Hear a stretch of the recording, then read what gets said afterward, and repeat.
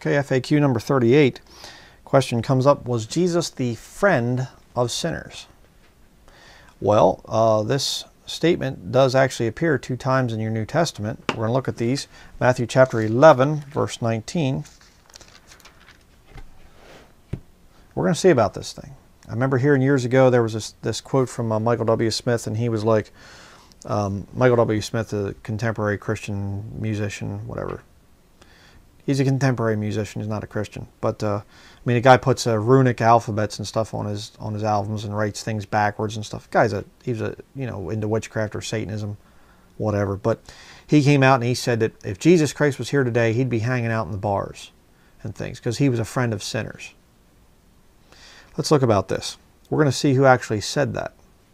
Matthew chapter 11, verse. Uh, what are we going to say here? Verse 16.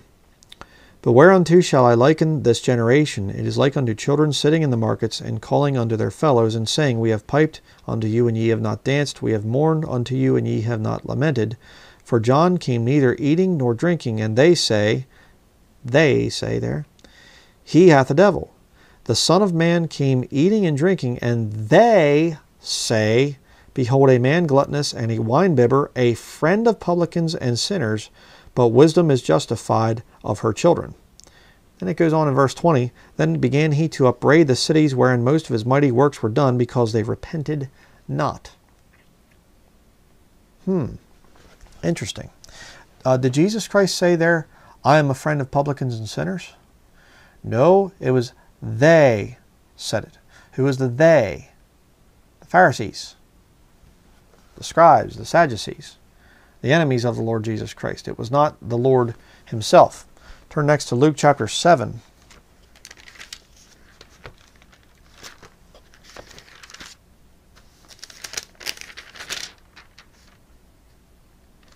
Luke chapter 7 and verse, see where we're going to read here. We'll start at verse 33. We're going to see the same basic thing here. Luke chapter 7, verse 33 For John the Baptist came neither eating bread nor drinking wine, and ye say, He hath a devil. The Son of Man is come eating and drinking, and ye say, here he's you know, addressing the Pharisees. Um, see it up in verse 30 there, if you look up at there. Verse 34 And ye say, Behold, a gluttonous man and a winebibber, a friend of publicans and sinners, but wisdom is justified of all her children. Verse 36 And one of the Pharisees desired him that he would eat with him, and he went into the Pharisee's house and sat down and uh, sat down to meat. So you see there, Jesus is speaking to the Pharisees, and he's saying, "You're saying that I'm a friend of the of the uh, publicans and sinners." There, okay. Jesus never said, "I am a friend of sinners." So, you know, for people to say that that Jesus is a friend of sinners, and and that uh, you know this somehow means that he would hang out where the lost people are, or something like that, uh, they're not telling you the whole truth. And don't get ahead of me. I will be talking more a little, a little bit more about this thing of him being a friend of sinners, a real friend. But uh, let me just look up a verse here real quickly and I'll get right back to you. Okay, Luke chapter 5, verse 27. Okay, you see them saying, you know, these Pharisees are saying that Jesus Christ is a friend of publicans and sinners. Where are they getting that from? Let's look here. Luke chapter 5, verse 27. And after these things he went forth and saw a publican named Levi sitting at the receipt of custom, and he said unto him, Follow me. And he left all, rose up, and followed him. And Levi made him a great feast in his own house, and there was a great company of publicans and of others that sat down with them. But their scribes and Pharisees murmured against his disciples, saying, Why do ye eat and drink with publicans and sinners? Remember, they called Jesus a winebibber and gluttonous because he's there at this feast. And they're saying, look at that, he's a friend of public or you know publicans and sinners. That's where they got it from. But why was Jesus there? Look at verse 31. And Jesus answering said unto them, They that are whole need not a physician, but they that are sick. I came not to call the righteous, but sinners to repentance. Is Jesus Christ a friend of sinners? Yes. But it's not because he just wants to be cool with your sin and he'd hang out at the bar and just kind of order a few drinks to not make people feel uncomfortable. No, Jesus was there among sinners because they were sick. And notice he says this right there with the sinners being present. He's saying these people are not whole. You know, they're sick. That's why I'm here. I've come to call sinners to repentance.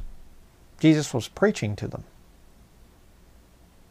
So, this philosophy, this modern day philosophy that Jesus was a friend of sinners, meaning he would hang out with the sodomites and not judge them, and he would hang out with the drunks and not judge them, or he'd hang out with immodestly dressed women, and he'd hang out with at sports bars and, and whatever else, and he wouldn't judge anybody.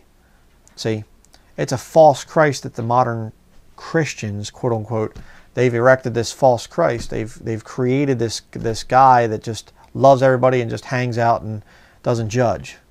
Uh, I think that's judging that we just read there. When you get Jesus Christ there and he says, They that are whole have no need of the physician, but they that are sick. I came not to call the righteous, but sinners to repentance.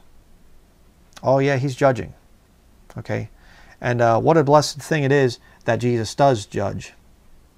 That Jesus does have standards that he wrote down and preserved down through the centuries so that we can know what displeases the Lord and we can know what things hurt us. I sure am glad that Jesus Christ judged me for my sins and that he paid for my sins on the cross. I sure am glad about that. I'm sure I'm glad that he would have enough grace and mercy to save an old sinner like me and to call me into that state of repentance where I can say, I'm no good. I can't possibly save myself. Okay? But as a Christian, we're not supposed to be going to those places where we defile ourselves. Okay, we aren't supposed to be going and hanging out at a bar to try and, I'm going to be like the lost to win the lost. That is a satanic philosophy. Okay, there's danger out there in that world, and you're supposed to come out from among them and be separate. Again, huge study here, but I just, you know, it's an FAQ, just doing these things quickly. So, uh, was Jesus Christ a friend of sinners? Uh, yes, but he never said that, number one. Number two, the reason he was their friend is because he was there judging their sin. So don't fall for that modern Christian lie that Jesus would hang out with the lost to win the lost.